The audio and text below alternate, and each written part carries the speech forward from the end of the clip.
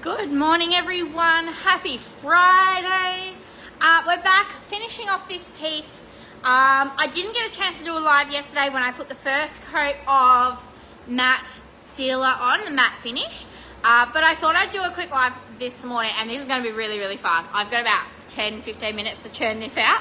Um, thought I'd do a quick live this morning because we're applying the second coat, and I just wanted to have a chat about that. So um, we're using Pureco Matte Finish. Now, yesterday I finished off, I had a couple of like 250ml jars. I finished those off. I had just enough to get a coat over the whole piece. This morning I'm opening a new jar. So comes in the 600ml and the 250ml.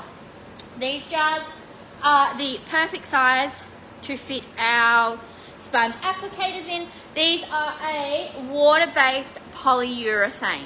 Um, they are very, very durable. I have it on my own um, bathroom vanity, which I keep meaning to take a photo of. Remind me, I need to take a photo of that and show you where we're at. Um, we've been using it for, it'd be about nine months, I think. And um, it's holding up really, really well. There's a few marks on it, but that's purposely done by my children. Uh, but in a bathroom, it's doing really, really well. So I love this finish. Um, it's matte. As you can see, there's like that tiny little bit of shine, but it is really, really beautiful. And it's really only like over here, shining just that little bit where, oh, hang on, where are we? Over this side. shining just that little bit where the sun's hitting it. Um, so we've got our polyurethane here, brand new jar. So always give it a good shake and stir. The polyurethane does separate a little bit in the jar, so you do need to make sure that you're giving it a really good stir each time. Sometimes it can go a little bit thick if you've used like half a jar or whatever. Um, I find more with the smaller jars when there's only a little bit left in, get a little bit lumpy, give it a really, really good mix. Um, even like those um, electric milk frothers, you know, the stick things with the little round bit on the end that froths your milk, um, they're really good as well. So just mixing it up and making sure that it's all um, evenly distributed. So I've got one of each size still on the shelf. I am taking one off the shelf for myself uh, because I've been using it a lot. I really, really like this finish. Oh, yes, that's it on my cardigan, just where I needed it. Um, so always wipe your lid off very, very carefully. So there we are. Now it's white. It's like a creamy white in the jar. It does go on clear.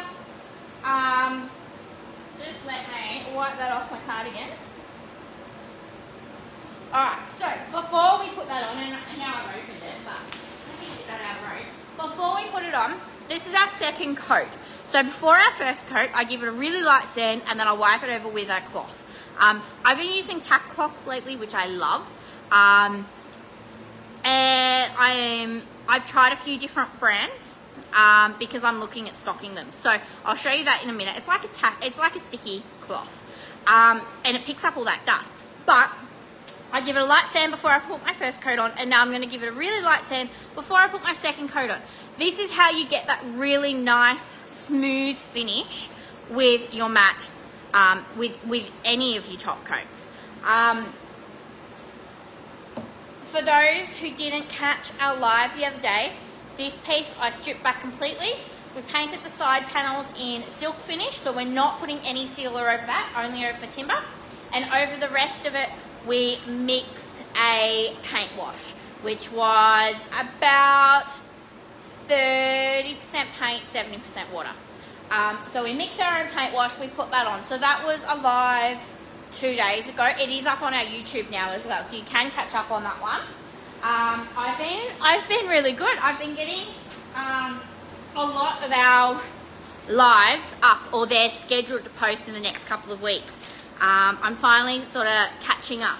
So, what you're going to do before you do your second coat. Now, I've already done the body of this piece. I'm going to quickly sand over the drawers and the top you're going to get yourself some really, really fine sandpaper. I've got 1200 grit.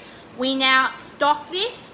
Uh, I've got three rolls left on the shelf. We had like 10 rolls a couple of days ago and they've flown out the door. Um, we now stock it. Beautiful sandpaper, really good quality, and I find it just keeps going as well.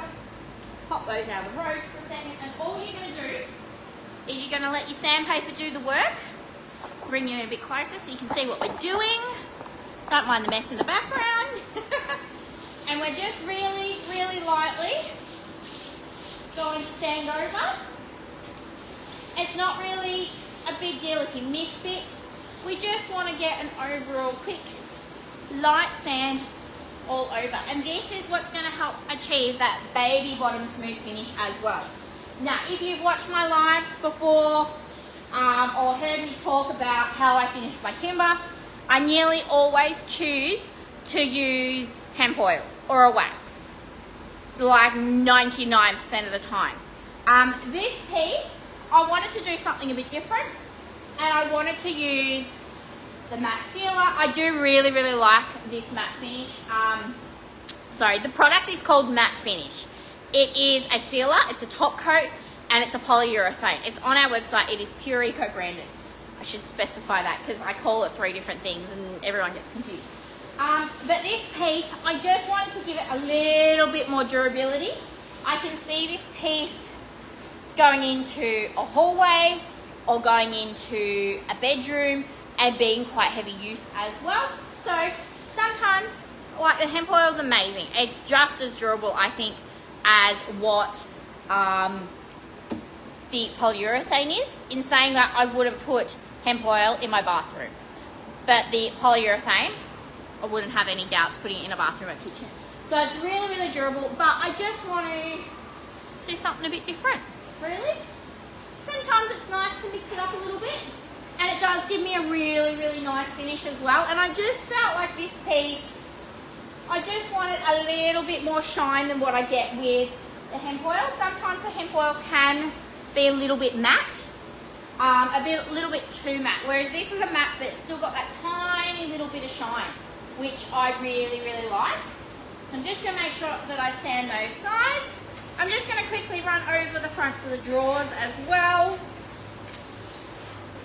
Now I did run down these sides already, but all this is doing is just making sure that it's nice and smooth more than anything. So if you've got a bit of dust or something stuck in your um, in your first coat, this just smooths it out.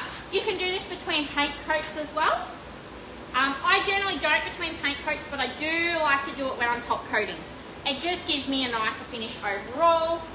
Um, now I already did do the sides. I'm just going to run my hands over them, give them a little feel. And I only sand um, before the first coat of sealer and before the second coat. Never ever sand after your last coat because you can scratch it up and like on this finish you're not necessarily going to see it. But if this was over a darker color like a black, you're going to see those sand marks. So never ever do it after your last one. Only do it between coats or before you've done any coats.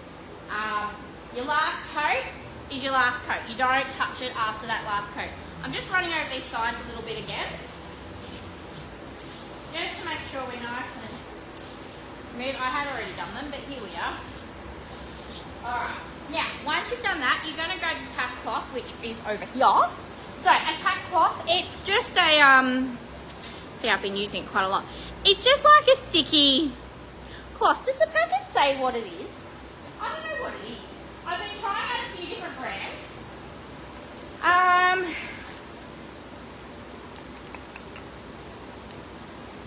no, it kind of feels like a wax, but I don't know. So I've been trying out a few different brands.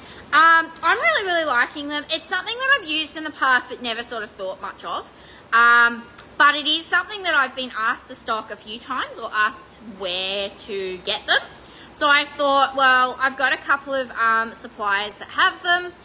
So I thought I'd try them out, find the one that I like the best. Um, you guys know I only ever sell stuff that I use and that I love um, and that I can back 100%. So I thought I'd try it. It feels like a wax. It feels like you can feel it on your skin. It's brilliant. It picks up all the dust and gives you that really nice um, finish and just make sure that there's nothing on there. So I just sort of run it over the top. This is one of those things that like I've always used in the background, but it's never occurred to me to show you that like this step. Um, and like the sanding step, it's one of those things you don't think to show things like this, but I think it's really good Um, I know I've got a lot of beginners that watch these videos. So just something a bit, bit different. How are we going for time? I'm running out of time, but that's all right. I've got, I'll squeeze out another like five minutes here, I reckon. All right, once you've done that, it doesn't leave a residue, so you're good to go. You're gonna grab your top coat. You're gonna grab yourself a spoon. I actually have these spoons. I brought a box of them, um, except like I thought, stupidly, there'd be like a hundred spoons in it. No, there's like over a thousand of them. And I'm never going to use a thousand spoons in my lifetime. So these are up on the website in packs of 50 or 100. Actually, no, there must be more than a thousand because I've got like, maybe there was like 5,000. I don't know. But I was thinking that there'd be like a couple hundred. so I've got these up on the website. Um, occasionally they'll just show up in your orders if you're purchasing products like the top coats or anything that I think needs a bit of a stir more than usual. Um, and I like to just chuck in a handful occasionally. So sometimes you'll just get random wooden spoons. Hello, LJ. How are you, love? Alright, it's our top coat. So it's white. It's like a creamy white. It goes on clear. So don't panic about the white. Most top coats are white in the jar. I've even had ones that are like a bluey colour. Don't panic. They go on clear. So this is the matte finish in the Pureco. As always, don't leave that on your spoon. Grab your sponge or your cloth or whatever you're using to apply it. Wipe it off and use that. Don't waste your product. Um, so these are our sponge applicators. I think they're about $7 on our website. They might be $6. We had this discussion the other day. We have it every time. I don't know how much they are. Jump on the website and find out. Alright, sponge. I'm going to, no, actually, I, I've got a habit of dropping jars, but we're going to touch wood and prompt, hope we don't. So these sponges fit perfectly in that jar. And you're just going to dip it in. So there's quite a lot on there. Just going to wipe off some of that excess. So a little bit's fine, but we don't want like the amount that was just on there. Alright, so uh, with top coats, once it's on, you leave it alone. Don't keep touching it. So sort of pick an area to start with I'm going to stand here at the front. I'm going to go to the back. I'm short, as you can see. I am short. Um, so I'm going to go at the back mainly so that I'm not touching fresh top coat every single time that I wipe it off. Start in one corner, work your way across. Easiest way to do it. Spread it out a little bit. Now you can use a slightly damp sponge if you like. I definitely like having a slightly damp sponge. Um, I find it just makes it that little bit easier to apply and it just flows that little bit better. So your first coat and um, for your just a spray bottle, little spritz, just enough. I love these because you can control how much water comes out. Um, these are also on our website and I do have one in stock as well. I think they're $14. But you know me, don't, uh, don't listen to me when I tell you a price, check it for yourself. so, a bit more. Um, and that little bit of water on there just helps it flow. Um, it's warming up in here. I do have the heater on in the background, which is why I'm yelling at you today. Uh, because Facebook likes to pick up all the background sounds, but not my voice. Okay, so as you can see, it will look darker as you're applying, but it will dry back to that lighter colour as well. Um, very similar to the hemp oil where it does help bring out that grain of the timber that little bit more. Uh, I personally do find that hemp oil brings out that grain that little bit more than what a matte sealer does. But as I said, I just wanted to do something a bit different. I always use hemp oil or wax, and this piece just felt like it needed something different. And I was bored. I'm bored at the moment. We'll discuss this. I am bored. Everything's been quite plain and boring and nothing too exciting. So I'm just very carefully wiping over that edge just because I got a little bit extra there. This is very, very forgiving, this top coat in particular. So you can sort of touch up those edges a little bit and you don't have to stress too much. Um, but with top coat, once it's on, don't keep touching it. So I won't go, like I wouldn't go back and touch that very back bit. The front bit, maybe for like another 30 seconds or so, but the back, don't touch again. Over the front of it. So again, loading some out. You don't want so much that's just dripping off your sponge. Okay, and it soaks in a bit too, so you won't necessarily always see it. Go across the front, down the legs, just sort of work methodically so you're remembering. You do have to pay a little bit of attention just so that you know where you are. Something moving in here. Is it me? It's me. My cardigan caught the um, sandpaper. I could just hear something rustling behind me. I've got a mouse that is um, terrorizing me and, and I have added two birds to that list. Um, they've also discovered Joe's shed which is fun.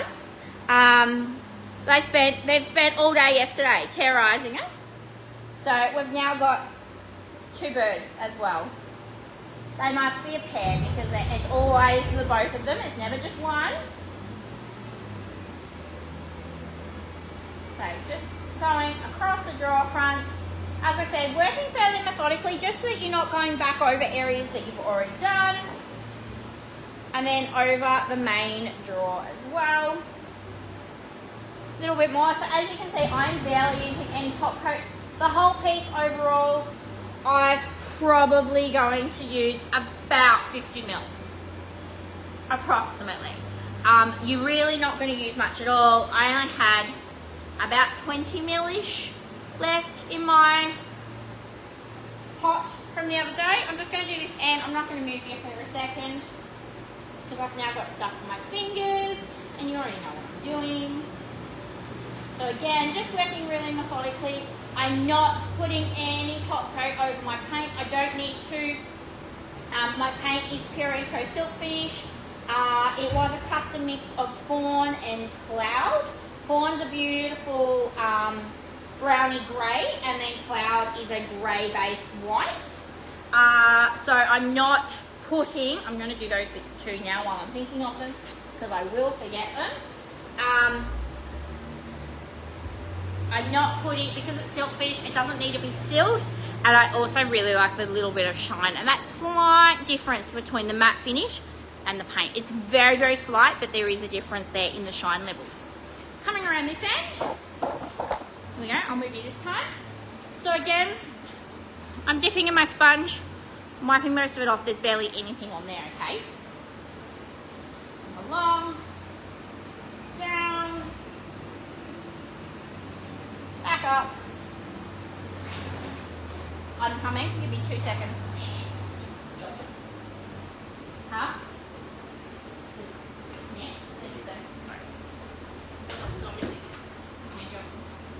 I'll be there in a minute. Um, down legs. Have I got my bit? no, I got distracted. here. Cross. And then there. Now for the legs, uh, when I did my, when we did the paint wash, we used a brush. Sealer, I'm not that fussed about getting my sealer into all those nooks and crannies. So for the legs, and I'm gonna bring you down just so you can see. Oops. Hang on. Two legs, three legs. Come on. One. Two. Sorry. Three. Sorry, Facebook. I know. There's no issues. I'm just trying to show everyone what I'm doing. Alright, these legs, as you can see, these are turn legs, so they've got that detail in there. Um, this is created on a machine that spins the wood really, really fast, and they sit there with a blade that cuts into the leg and it can cut these lines into it. It's absolutely amazing. Um, I think stair balustrades, when they've got those turn detailed, that's how they create them. Same thing for this. So they've done this whole piece of wood, but this bit they haven't done anything with. They've just turned the bottom. I love a detailed leg. I've got a thing for them. I absolutely love them. So when I did my uh, paint wash, I used a brush to get into all those grooves. When I'm doing my top coat, I'm just wiping it on. Um, I'm not as fast about getting into all those legs. the biggest thing I'm looking for is making sure that I don't have any puddles of, um, of my sealer. So I just want to make sure as I'm going down that um, I'm catching any big drips.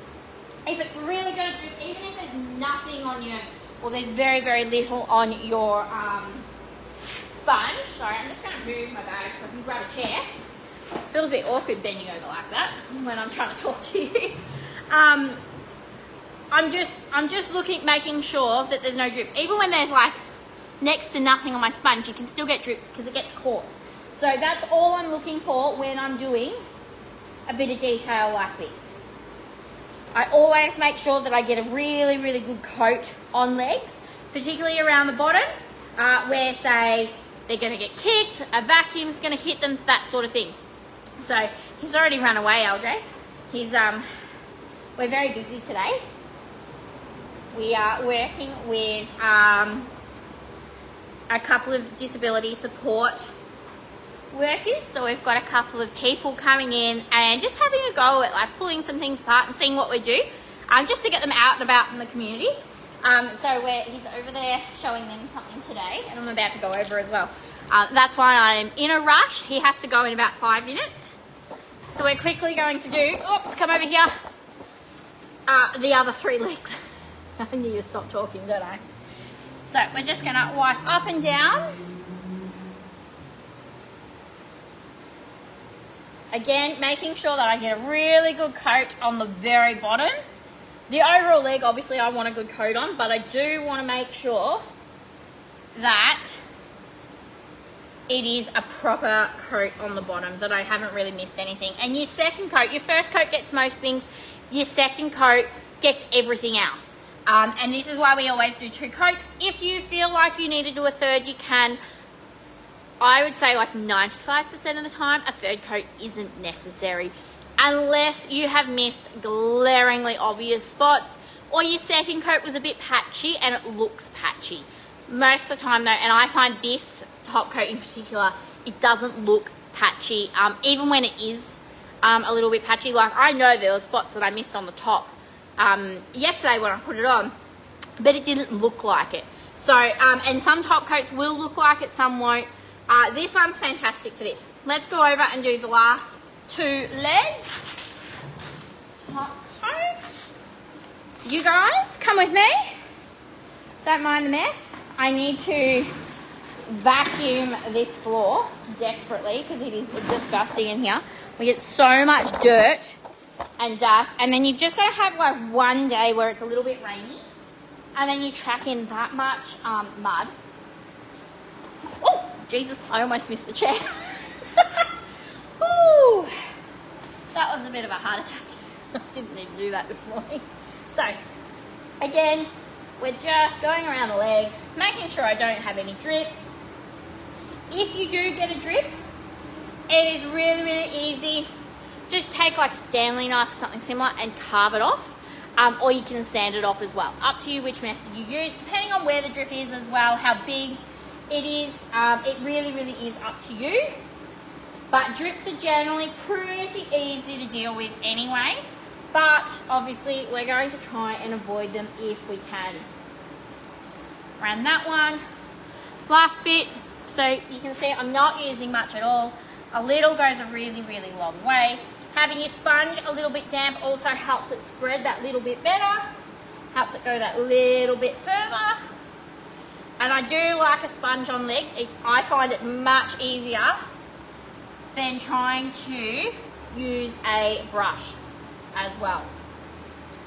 All right, that's me done. So that's the second coat done. Um, tomorrow, not tomorrow, not tomorrow, tomorrow's Saturday. Tomorrow I'm tomorrow I'm doing birthday parties. The kids have got birthday parties to go to. That will be fun. Um, is that a play centre on a weekend? I don't think so, but we'll see how we go. Uh, I'm going to get this one listed later today. I think it might already be sold. Um, I've just got to confirm measurements with her, but if it's not sold, I'm going to list it anyway. Like, I'm going to show it off because I think it's gorgeous. But um, if you're interested, it will be up later today maybe for sale, maybe not. We'll find out. Uh, have a lovely day. Uh, it is Friday, So enjoy your Friday, and I'll see you all next week. Um, what are we doing next week? I've got another sideboard there that I'm thinking about doing quickly, but I've also got a bedroom set that has to be done by October, ideally before October. So I've got about, what are we, we're mid-August. I've got about six weeks still to do it, but I just want to get it done and out of the road. So I'm thinking we might do a bedroom set with uh, Pureco's carbon. It has to be carbon. I don't get a choice on that. We're doing Pureco's carbon. So I'm thinking a bedroom set. We might start that next week. Um, either way, next time I'm live, you'll find out. Thank you for joining me. Uh, everything's, I'm uploading everything on our YouTube. Uh, the six drawer pine dresser, that series is uploading over the next few days. Um, I think one and two are already out. There's six parts in that one. So they're all going up. Uh, uh, the paint wash on this one is already up on our YouTube. Our YouTube is linked below. Uh, I'm really trying to build our YouTube. Um, so please pop over, just give us a subscribe. Uh, it doesn't cost anything, um, but it helps us build that audience a little bit more. And if we, if we can, I doubt we ever will, but if we get to and meet all the milestones that YouTube needs us to meet, we might be able to monetize it. And I'm told out of all the platforms, YouTube's generally one of the better ones to monetize. So that's our aim. I highly doubt we'll ever get there, but we're going to try. Um, that's it. Have a lovely day. My time's well and truly up. Bye, everyone.